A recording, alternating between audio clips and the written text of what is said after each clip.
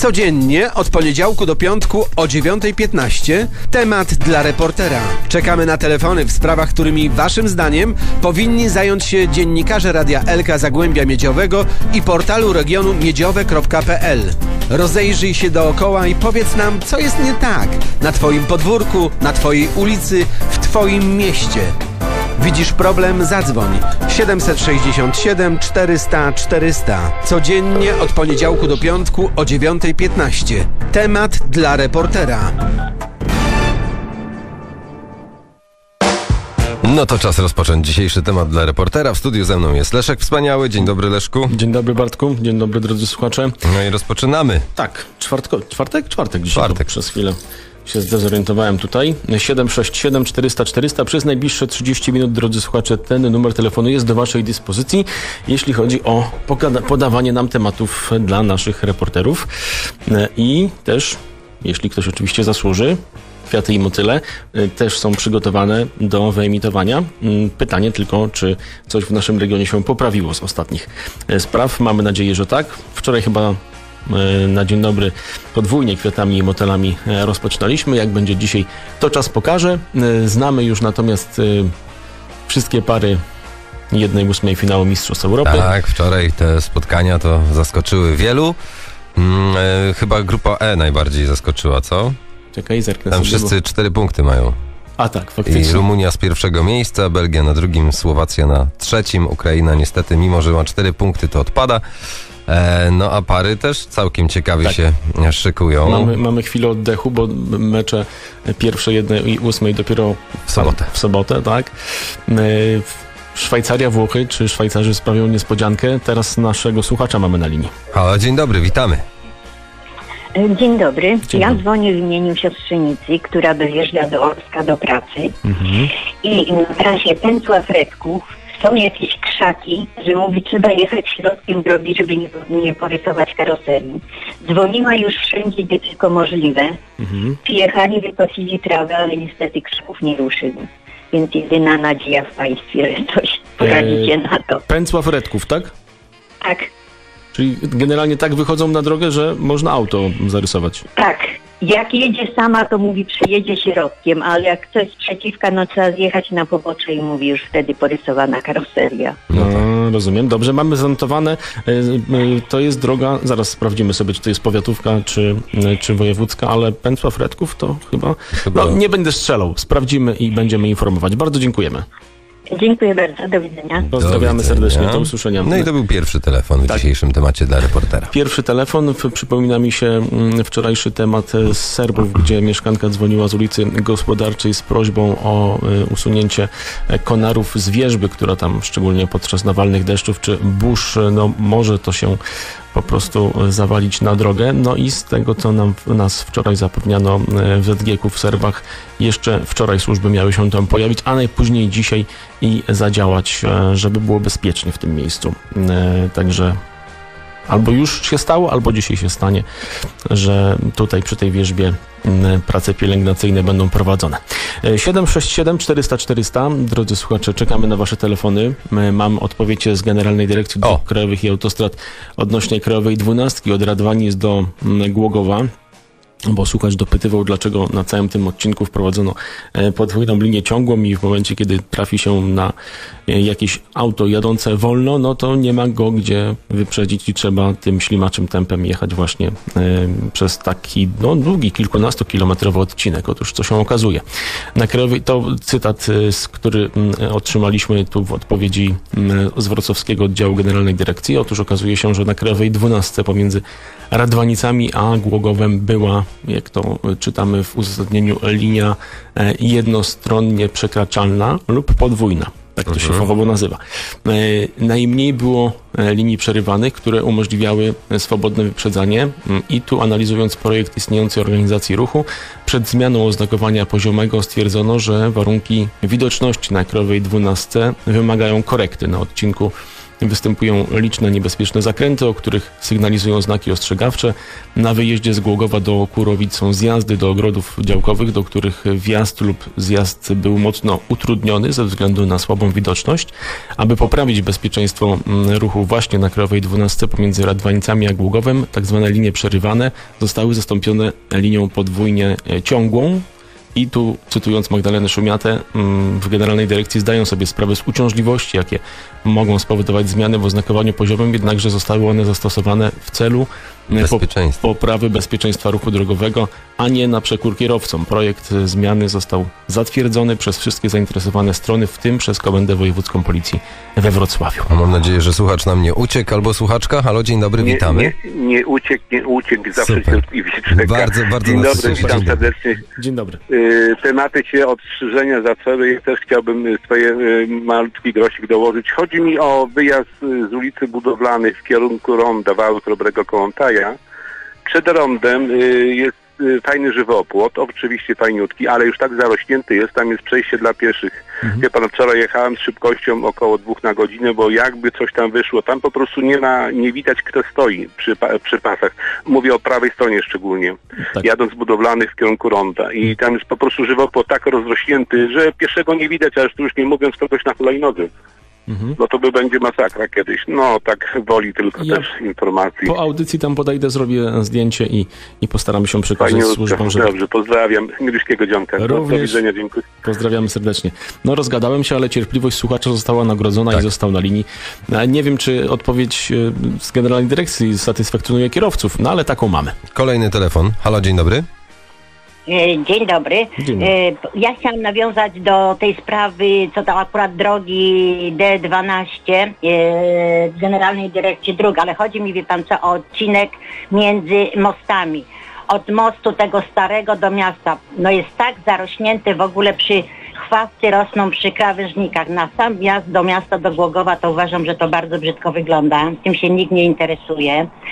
Później jak się wyjeżdża też, albo wyjeżdża, albo znaczy się jak się wyjeżdża od strony Serbów po prawej stronie na końcu y, mostu tego y, na Starej Odrze, Tak. y, od pnia rosną właśnie wyro, powyrastały, no, no, no krzew czy to gałąz, ale od tych starych drzew wyciętych. Odrosty Także takie. Tam Mhm. też w ogóle prawie takie odrosty, tak. I do połowy prawie chodnika y, no nie, też nie idzie, bo już te gałęzie po prostu sięgają. I drugą sprawę mam jeszcze też taką, chodzi o most y, ten różowy, że tam są zostały powycinane takie miejsca, miały być jakieś tam naprawy czy coś. Część, Tak. że to było robione już jesienią w zeszłym roku i do tej pory, i w tym roku też zaczęli i do tej pory nic nie robi, nic tam nie jest zrobione. A trochę tak nieciekawie, bo właściwie teraz akurat sezon, lato, no chodzą i, i goście, i, i mieszkańcy, i wszyscy, także trochę to jest takie, no nie, nie fair mi się uważa, te, powiem pani, że też ostatnio zwróciłem na to uwagę, bo mieliśmy kilka tygodni temu odpowiedź, że jak już będzie wystarczająco wysoka temperatura, to będzie to naprawione, a tymczasem okazuje się, że te powycinane fragmenty w dalszym ciągu na tej Tak. części dla pieszych i rowerzystów pozostały. Nie pozostaje nam nic innego, jak się przypomnieć i zapytać, kiedy to będzie zrobione. Przypomnieć, tak, tak, tak. A, no, a, a najbardziej mnie to boli, wie pan co, właśnie między innymi te, y, te chwasty przy tych krawężnikach, nie? No to jest masakra. To jest, no, no, moim zdaniem uważam, że to bardzo brzydko wygląda. Także Dobrze. no, no trzeba by było raczej chyba ich tam pogonić troszkę. No to by było wszystko. Dziękuję bardzo i miłego dnia życzę. Również miłego dnia. Poganiać ich nie będziemy, na pewno się przypomnimy i poprosimy o to, żeby no, przejazd kamienną drogą był estetyczny, a nie wśród chwastów Szczególnie, że to wjazd do miasta. porastających przy, przy krawężnikach. Ładnie nam się dzisiaj, drodzy słuchacze, rozdzwoniliście w temacie dla reportera, Fajnie, z fajnie. czego jesteśmy z Bartkiem bardzo zadowoleni, bo wtedy, Nie pozwalacie nam o euro pogadać. e, co nie zmienia faktu, że w sobotę czekają nas dwa spotkania, Szwajcaria, Włochy i Niemcy, Dania, No mówiłeś coś o Szwajcariach, no mogą sprawić niespodziankę, skoro Bo prowadzili grają. ostatnio z Niemcami. No. bo grają naprawdę dobry futbol, podobnie jak Austriacy. E, Oni z kolei 2 lipca w 1-8 zmierzą się z Turcją. No tu będzie walka, bardzo duża walka. Zresztą widzieliśmy, jak wczoraj Turcja walczyła. Zresztą Czesi też, tylko że dwie czerwone kartki zrobiły też swoje przy okazji. E, no ale też e, wśród tych spotkań to oczywiście Szwajcaria, Włochy, tak jak mówisz, w sobotę, później Niemcy mierzyć się będą z Duńczykami. Mm, W niedzielę już Anglia ze Słowacją i Hiszpania z, Z Gruzją. No co jest zaskakującym mm, e, wynikiem Gruzinów. Pierwszy raz na Mistrzostwach Europy, I z trzeciego miejsca weszli do 1-8. tak, wygrywając 2-0 wczoraj, przypomnijmy, z Portugalią, która jest wyżej notowana. No, Portugalia nie miała lekkiego mm, meczu. E, później Francja, Belgia, to już w poniedziałek 1 lipca i Portugalia, Słowenia, a drugiego we wtorek Rumunia, Holandia i właśnie Austria, Turcja. Że tak wygląda rozpiska jednej ósmej finałów. I zobaczymy, kto tam wejdzie dalej. Jestem ciekaw, jak to będzie wyglądało. Wszystko później, no a wielki finał przypominamy 14 mm, lipca w niedzielę. A teraz odbieramy kolejny telefon. Halo, dzień dobry, witamy. Dzień dobry. A słuchamy. A ja tak trochę w sprawach technicznych. E, panowie, no, No, o, w sprawach technicznych to zasięg by się przydał. Y, Coś nam pan ucieka, słabo słyszymy. a teraz? A, O, lepiej, no lepiej. troszkę lepiej, no. Ja w takiej sprawie. Ja uważam, e, wy, uważa, wy, uważ, wy uważacie, że w Głogowie mieszkają sami renciści i emeryci. A kto tak uważa? E, Ja tak uważam, Mhm. że wy tak a, myślicie. a dlaczego? A dlaczego? A bo moim zdaniem, proszę, pan, proszę panów, e, taka audycja jak ta, to powinna być e, 15 minut teraz i 15 minut tak mniej więcej po godzinie 16, bo ludzie pracują i nie wszyscy mogą e, do południa słuchać tej, te, te, tej, tej audycji. Mhm. To jedna, a druga sprawa na przykład e, Radio Jarmark. Mhm. 5 minut jest. Tak. Pię- Tutaj, że tak powiem, to przez pół godziny czasami opowiadacie różne pierdoły, a tam y, Radio Jarmark to jeszcze się nie zacznie i już dosłownie chwila i już koniec jest. Mhm. I też powinno być 5 minut co najmniej po 16. Mhm. I, i tu 15 minut y, i 15 minut po 16 i również Radio Jarmark. Bo z tego co słyszę to, no nie mówię, ale moim zdaniem to y, dzwonią przeważnie ludzie starsi. I do tej teraz. I No to chciałbym, mamy zapisane gdyby pana tak, sugestie. nawet jeszcze y, co inni radiosłuchacze na ten temat powiedzą. To by było tyle. Dziękuję bardzo. Do Dziękujemy widzenia. ślicznie. Pozdrawiamy. Pozdrawiamy, do No, usłyszenia. nasz redaktor naczelny będzie teraz się zastanawiał. Co z tym Na pewno, zrobić? na pewno odsłucha tę wiadomość yy, i zresztą później zamieszcza na naszym portalu miedziowe.tv zawsze każdą audycję, ale teraz odbierzmy kolejny telefon. Dzień dobry, witamy. Dzień dobry. Dzień dobry. Tak, słuchamy. Y, Ja mam taką sprawę, jak się zjeżdża y, z ronda Kołątaja w kierunku budowlanych, tam nie ma oświetlenia. Tam się wjeżdża w taką dziurę jak w tunel czarny i tam jest przejście jedne i tu w kierunku i kończy się tak na wysokości przedszkola i tak samo zestawne jak się jedzie do ronda. Tam lampy nie działają i się wpada w taką ciemną dziurę, a tam jak z parku przechodzą na pasach, to w ogóle nic nie widać. I to nie wiem, czy to ktoś zgłaszał już. Nie, jeszcze nie jest pan, nie, nie jest pan, jest pan pierwszy akurat. Z Kołątaja na budowlanych, tutaj w ten fra, Tak. f- fragment wjeżdżając jest ciemno i ze Stawnej w kierunku ronda, tak? Tak, tak, tak. I tu jest, y, to jest taka dziura czarna, że jak się skręca, wjeżdża, to jest, y, to jest y, takie niebezpieczeństwo. Najgorzej, że nie ktoś przechodzi tutaj, jak idzie w kierunku tam stawne, jest ten park i te pasy, nie? Mhm. Ja już miałem y, dwa razy takie, że tam wjeżdżam bardzo wolno i jeszcze na czarno ubrany, no i kogo zobaczysz? No. I to jest właśnie bardzo Dobra. duże niebezpieczeństwo i, i to już trwa kilka dni. Dobrze, mamy, To mamy zapisane. i będziemy zgłaszać. Dobrze. No, Bardzo dziękuję dziękujemy. bardzo. Dziękujemy i pozdrawiamy również. Do usłyszenia.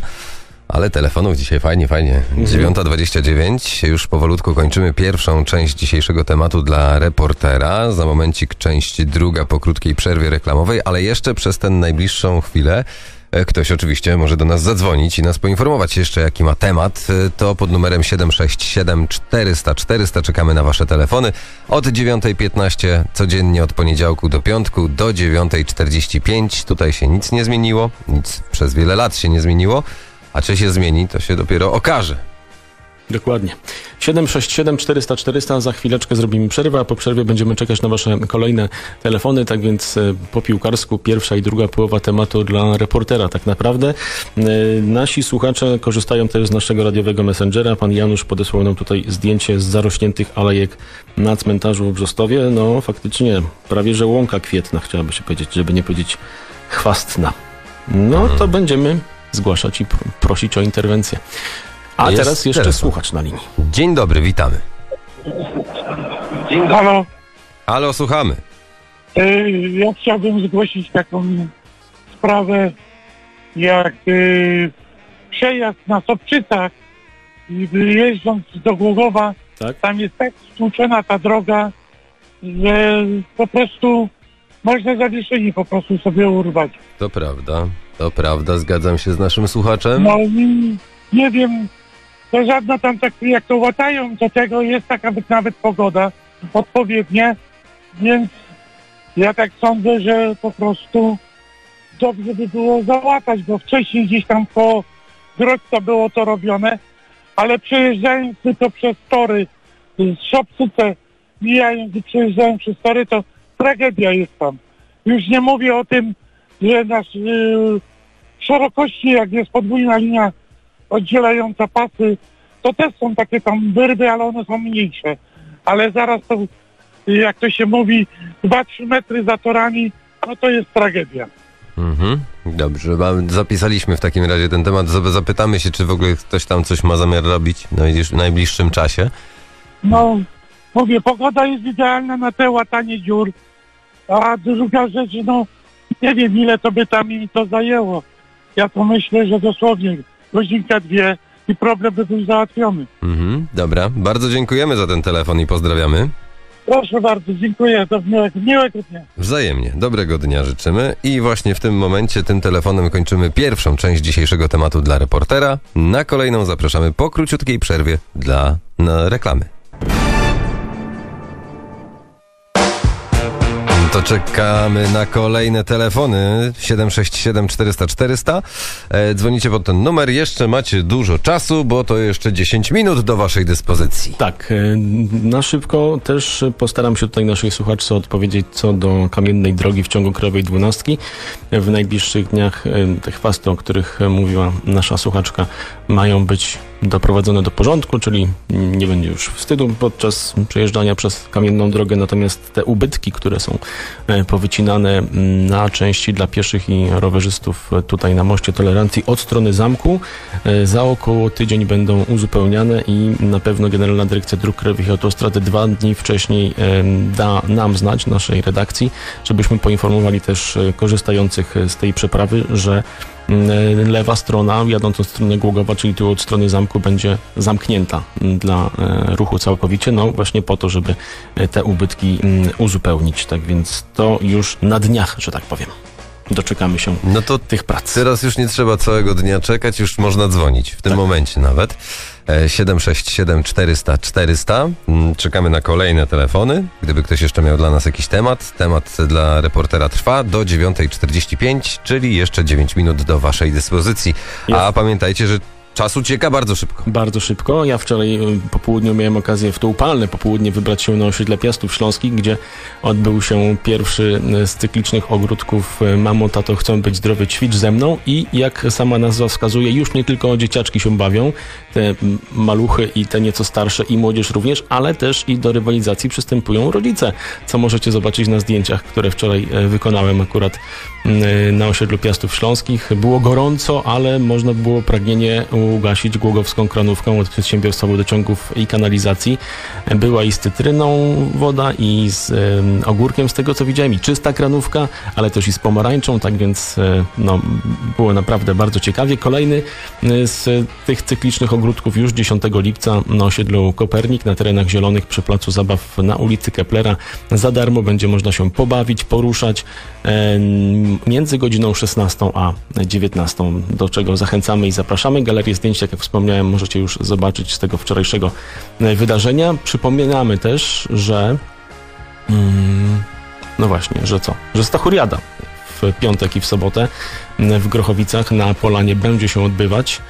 Mm, i będziemy jeszcze o tym oczywiście szerzej informować. Choć ci, którzy na Stachuliadę się wybierają, doskonale wiedzą, e, czego się mogą spodziewać, jeśli chodzi o mm, muzyczne gwiazdy, które w tym roku organizator e, zapewnił, tak więc będzie się działo. Przypominamy też o bezpłatnym transporcie, który jest zapewniony zarówno w piątek, jak i w sobotę. Mm, Autobusy komunikacji miejskiej dowiozą e, na Leśną Polanę i o północy odwiozą do Głogowa.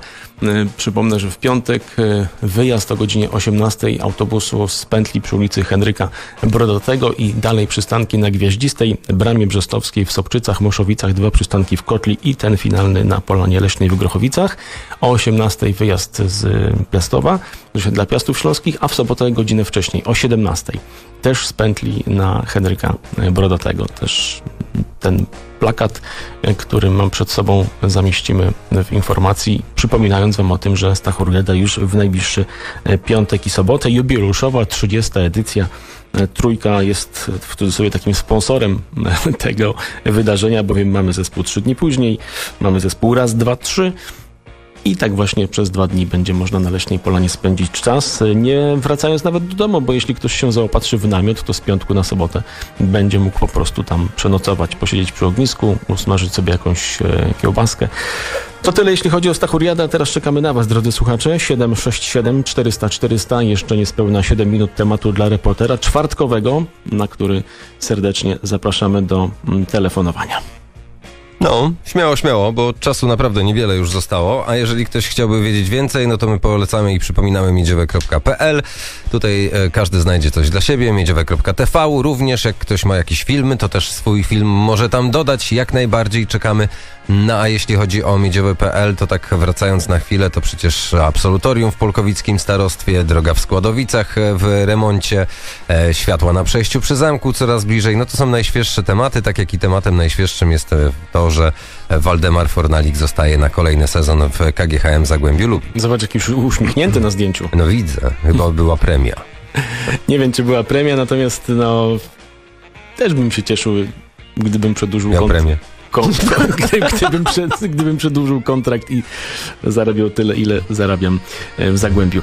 Mm, A jest to niemała kwota. No zobaczymy. Zapowiedzi są dość e, optymistyczne. E, Piotr Burlikowski, dyrektor sportowy KGHM Zagłębia wczoraj na konferencji też mówił, że oprócz już dwóch pozyskanych piłkarzy jeszcze dopinany jest transfer trzeciego zawodnika. W tym przypadku mówimy tu o napastniku, który Mhm. wzmocni tę formację i to na dniach powinno się rozstrzygnąć. A tymczasem dziś Miedziowi udali się na zgrupowanie i tam też będą ładować akumulatory przed zbliżającym się e, sezonem. E, Zapraszamy Was, drodzy słuchacze. Temat dla reportera to już końcóweczka 767 400 400. Sezon, sezon sezonem, ale No. to jeszcze, wiesz, dopiero nie ukrywajmy. Wakacje się rozpoczęły, a jak wakacje, to sporo się dzieje w naszym regionie. To prawda. No i między innymi wczoraj gościliśmy gości w radiowym studiu, którzy o Palinowsce troszkę poopowiadali. To już niebawem, bo za dwa dni, 29 czerwca w sobotę, o godzinie 12 już zaczynają w Obiszowie. Jeżeli ktoś chciałby znać więcej szczegółów i tak dalej, to oczywiście odsyłamy do co, gdzie, kiedy. Ja tylko przypomnę, że gwiazdą będzie Michał Szczygieł, między innymi, który przyjedzie i zaśpiewa dla zebranej publiczności, ale nie tylko, bo i afterparty się szykuje i wcześniej też magia folkloru i takie tam wszystkie podobne rzeczy, które oczywiście wyczytacie z plakatu, e, który znajdziecie również w dziale co, gdzie, kiedy na portalu miedziowe.pl. No dzisiaj z, z kolei musicie uważać, bo dosłownie przed paroma minutami otrzymaliśmy ostrzeżenie z biura prognoz. Tym razem nie ostrzeżenie o upałach, a o możliwych burzach z opadami deszczu od 20 do 35 mm oraz porywami wiatru do 70 km na godzinę. Do, do tego lokalnie mogą wystąpić opady gradu. Mm, Obszar, y, na którym obowiązuje ostrzeżenie to województwo dolnośląskie, w tym także powiat głogowski. Y, Ważność ostrzeżenia dziś od 13 do godziny 23. Prawdopodobieństwo wystąpienia 80%. Tak to z biura prognoz y, otrzymaliśmy taką właśnie informację. Tak więc ostrożnie i bezpiecznie. Mm, Patrzcie, co się w pogodzie dzieje. No właśnie teraz tak widzę, że Że z nad Niemiec w stronę właśnie naszego e, Regionu. regionu idą burze, chociaż nie, to idzie w drugą stronę akurat, czyli ta burza, która tutaj się pojawić ma w tych godzinach, o których mówiłeś, To jest prawdopodobnie burza, która powstanie właśnie na tym, na tym obszarze mm, i ona znikąd do nas nie przyjdzie, tylko zostanie tutaj po prostu, tu się urodzi, że tak powiem. To najlepiej jakby się nie urodziła. No najlepiej, jakby nie urodziła, natomiast faktycznie synoptycy mniej więcej tak prognozują 15-16, że ta burza taka może się tutaj pojawić i opady deszczu, przepraszam. E, no to co? Czekamy w takim razie na rozwój sytuacji, co tam się wydarzy z tą pogodą. No nie ukrywajmy, że cieplutko i słonecznie aktualnie w regionie. E, no a w najbliższych dniach też tak będzie. Będzie cieplutko i przyjemnie. Dobra, no i co, nie dzwonicie? No widzę A właśnie- już tylko dwie minutki. Co widzisz? Czekaj, czekaj, czekaj, bo dostaliśmy od naszego stałego słuchacza informację o imprezie, która jest y, 29 czerwca o 15 na boisku Gwardii w Białęce. Gramy dla Bartka. Hmm? Proszę bardzo. Rywalizować będą m.in. Sokół Jerzmanowa, Irek Dream Team, Orzełki Grębocice, Kojote S5, Iskra Droglowice. Do tego Kiermasz Ciast, Sołectwo Pęcław, Loteria Fantowa. Każdy los wygrywa pod takim hasłem. Strefa gier i zabaw. E, No proszę, wybiorę się tam. Przygotuję dla Was informacje o tym. I właśnie. Dobrze, bardzo dziękujemy na, nasz stały słuchaczu za tę informację, bo organizatorzy e, nam się tutaj nie pokwapili, żeby nas nam dać znać o tym. I pewnie do co, gdzie, kiedy, jak znam świat też e, tego nie wrzucili, a przypomnę, Zajęli to- się, zajęli się organizacją. zajęli się organizacją, z, zapomnieli o promocji. No ale już wiemy o tym, także bardzo dziękujemy i tam się właśnie w sobotę wybiorę. O 15 start. Dobrze. No to mamy. Tak. E, no to mamy też jeszcze tylko ostatnią minutę. Więc jeżeli ktoś z Was, drodzy słuchacze, jeszcze chciałby nam dać znać w temacie dla reportera, jakiś telefonik, to proszę bardzo, tych telefonów dzisiaj było dość sporo, cieszy nas to bardzo. Dokładnie. Wszelkie tematy, które zapisaliśmy, oczywiście przekażemy dalej. E, no i mamy nadzieję, że w przyszłym tygodniu coś tam będzie załatwione, to wtedy dzwonicie i kwiaty i motyle wysyłacie. To też jest bardzo przyjemny moment na naszej antenie, kiedy można podziękować za coś, co już zostało zrobione. A czasami walczyliście, walczyliście. I wywalczyliście. Tak, właśnie. No to 30 sekund. Prawie, że koniec tematu dla reportera. Drodzy słuchacze, jutro przy piątku też od 9.15 do 9.45 będziecie na nas czekać, ale wierzę, że dziś jeszcze ktoś do nas zadzwoni w tych ostatnich sekundach, a jeśli nie, no to z Bartkiem będziemy się z wami powoli i tematem dla reportera żegnać, zapraszając na wiadomości mm, e, e, krajowe i lokalne o godzinie 10, które już e, szykujemy dla was. E, Kolejne nowe informacje pojawiać się też będą oczywiście dzień jak co dzień na portalu miedziowe.pl. To co Bartku, dziękujemy za dziś. Tak, dziękujemy za dziś i jutro od godziny 9.15 w piątek 28 czerwca kolejny raz będziemy czekać na Wasze telefony w temacie dla reportera. Codziennie od poniedziałku do piątku o 9.15 temat dla reportera. Czekamy na telefony w sprawach, którymi waszym zdaniem powinni zająć się dziennikarze Radia Elka Zagłębia Miedziowego i portalu regionu miedziowe.pl. Rozejrzyj się dookoła i powiedz nam, co jest nie tak na twoim podwórku, na twojej ulicy, w twoim mieście. Widzisz problem? Zadzwoń 767 400 400. Codziennie od poniedziałku do piątku o 9.15. Temat dla reportera.